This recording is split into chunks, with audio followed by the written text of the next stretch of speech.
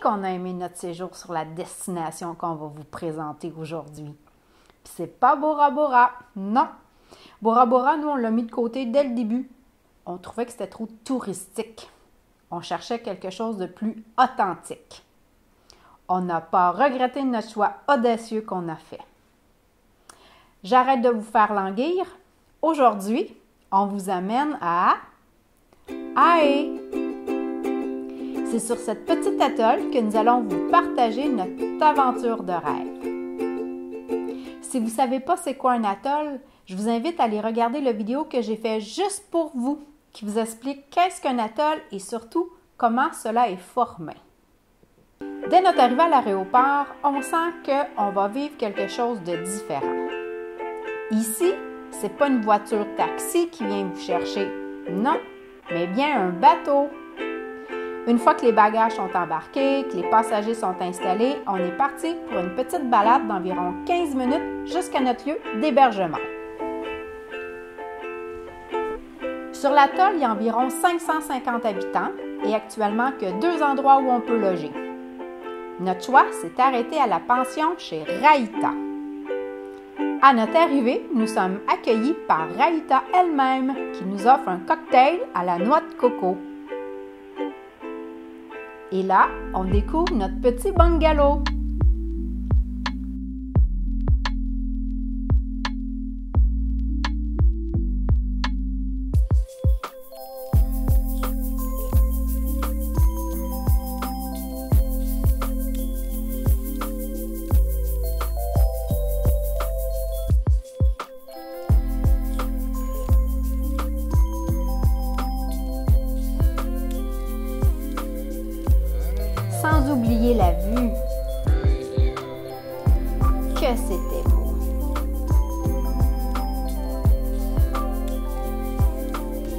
Sont à peine déposés qu'on nous invite déjà à aller à la pêche. Même si on n'a pas beaucoup d'expérience, on accepte avec grand plaisir. Dans le lagon, on pêche à la ligne. Eric, notre guide, prépare notre ligne et nous explique le fonctionnement un poids avec un morceau de corail, un appât fait de poisson pêché du lagon. On descend la ligne jusqu'au fond, environ à 40 mètres. On remonte quelque peu et on attend que le poisson taquine la ligne. Lorsque le poisson mord à l'appât, il faut remonter rapidement. Vous pouvez voir ici ma technique n'est pas encore très très efficace. Laisse-la côté, laisse-la côté. Vous auriez dû voir ma face quand j'apprends que si on prend trop de temps, eh bien les requins en profitent pour avoir facilement une belle petite collation. Oh non, je l'ai échappé. Euh, non, non, non, non.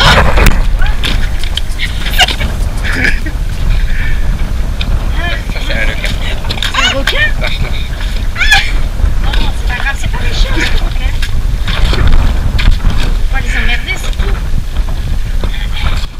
Et oui, un requin gris est venu manger mon poisson et a cassé ma ligne.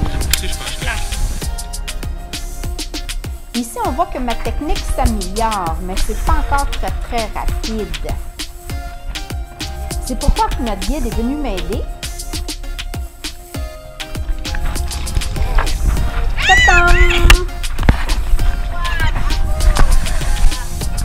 J'ai pêché le premier poisson, soit un mérou que nous mangerons au souper. Euh, J'étais déterminée à ne pas donner de nouvelles collations aux requins. J'ai amélioré ma technique, n'est-ce pas? En cette première sortie de pêche, Philippe, lui, il reviendra bredouille, mais enrichi d'un nouveau contact avec plein de nouvelles espèces de poissons. On a continué notre découverte de cette faune aquatique simplement en marchant sur le quai. On a eu la chance de voir des rémoras, des raies pastenagues,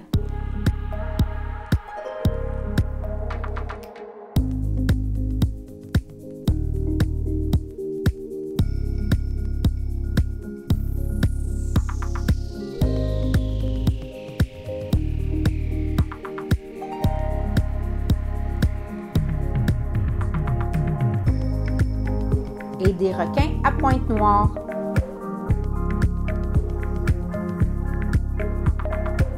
Oui, oui, il semble que ces requins-là sont gentils. En marchant sur le terrain de la pension, on a eu aussi la chance de se faire expliquer comment on fait le copra. Le copra, c'est le produit de la noix de coco qu'on utilise pour euh, faire de l'huile de noix de coco. Je vous invite à regarder un deuxième vidéo que j'ai fait juste pour vous qui vous explique plus en détail la fabrication du copra. Le lendemain, on nous invite à nouveau à aller à la pêche. Maintenant qu'on sait comment ça fonctionne, on accepte encore avec grand plaisir. Phil va sauver son honneur en attrapant le premier poisson de la journée, soit un bec de canne. Je vais attraper un majesté qui va servir d'appât, un autre bec de canne gros pour entrer dans une assiette, parce que s'il couvre pas complètement l'assiette, il est alors trop petit. On doit le remettre à l'eau. Puis un autre mérou. Et voilà que c'est au tour de Philippe de se faire voler son poisson par un requin. Ce dernier s'est amusé sous l'eau et a mélangé toutes nos lignes.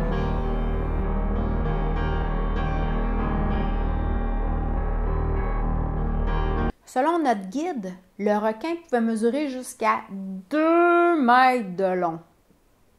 Hmm. Encore une fois, c'est le requin qui a gagné.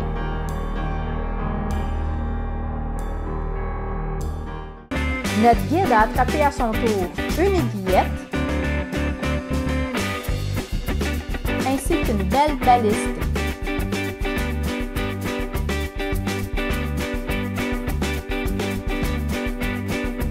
Une fois tous ces poissons attrapés, il faut les préparer et les laver.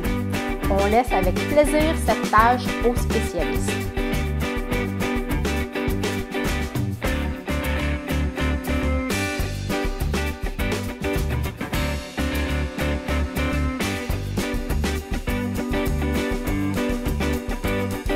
Ayant suffisamment de poissons, on peut se rendre maintenant à notre prochaine destination, soit un motu.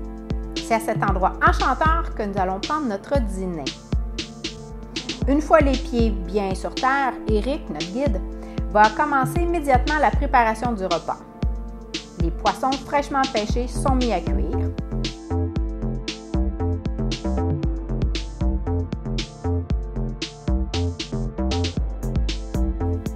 Puis il nous demande comment préparer une spécialité de la Polynésie française, le thon cru au lait de coco. Ce repas est composé bien entendu de thon cru que l'on rince directement dans l'eau salée du lagon.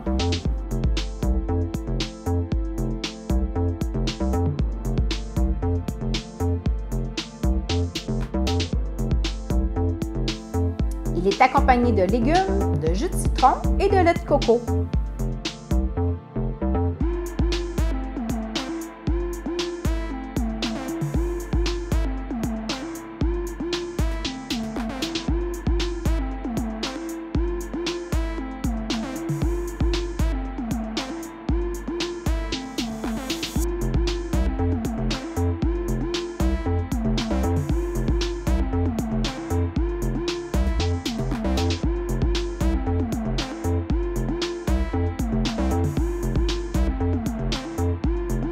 C'était un vrai délice.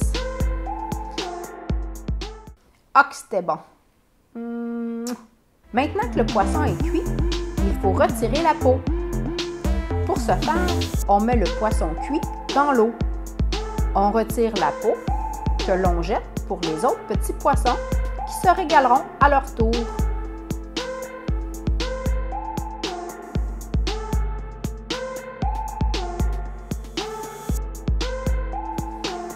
Pour compléter l'accompagnement de nos poissons, Eric nous cuisine des petits pains qui sont faits à base de farine, de sucre et d'eau de coco. Le tout est cuit entre deux feuilles.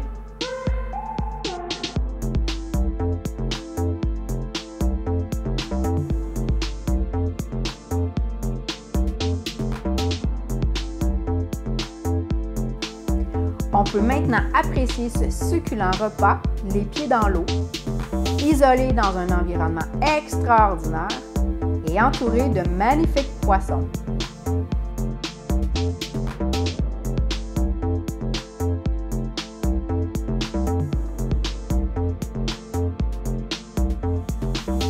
Même un requin est venu nous saluer pendant notre repas. Il faut maintenant faire la vaisselle. Sur l'atoll, il y a une méthode automatique pour faire la vaisselle. Nous n'avons qu'à mettre nos plats dans l'eau et les petits poissons font tout le travail.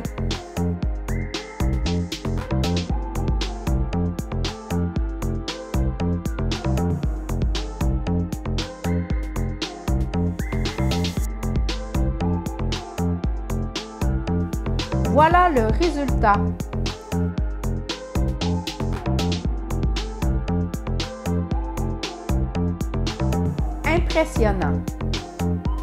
Je prendrais volontiers un système comme ça à la maison. La découverte de l'environnement du lagon se poursuit, cette fois en faisant du snorkeling autour de la pension.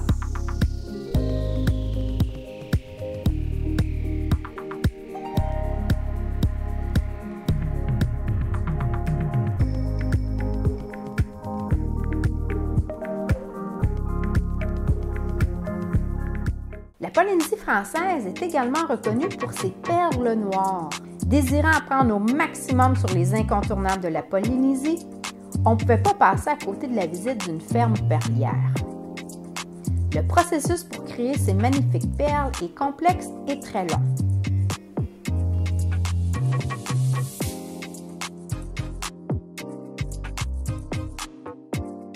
Je vous ai créé un troisième vidéo. Cette fois-ci, pour vous expliquer le processus de la création d'une perle.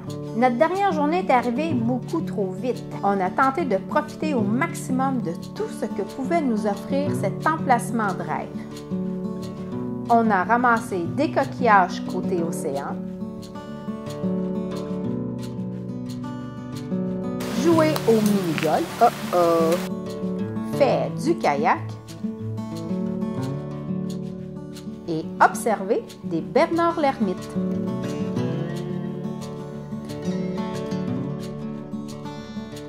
J'oubliais. Phil, lors d'une marche près de l'océan, a pas vu deux, mais bien un rassemblement de requins à Pointe-Noire. Je sais pas pourquoi, il m'a dit qu'il n'avait même pas osé mettre sa grosse orteil à l'eau. Peureux. Mes sandales étaient ravis d'être dans ce coin de pays. Il est très facile de comprendre pourquoi.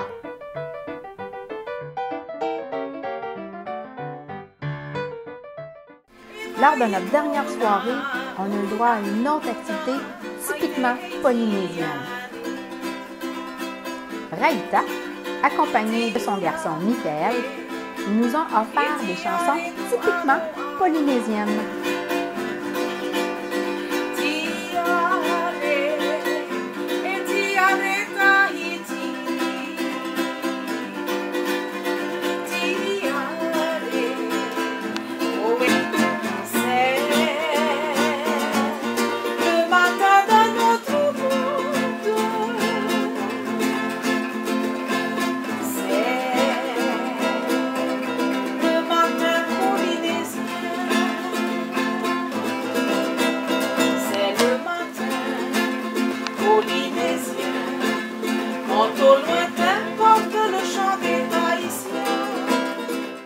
Voilà que notre séjour tire à sa fin.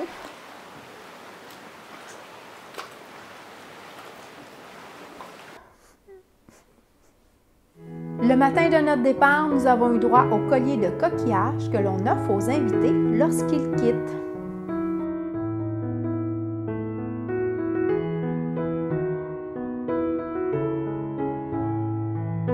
Nous attendons notre transport pour retourner à l'aéroport. Ce n'est qu'un au revoir, Raïta et Michael, j'espère.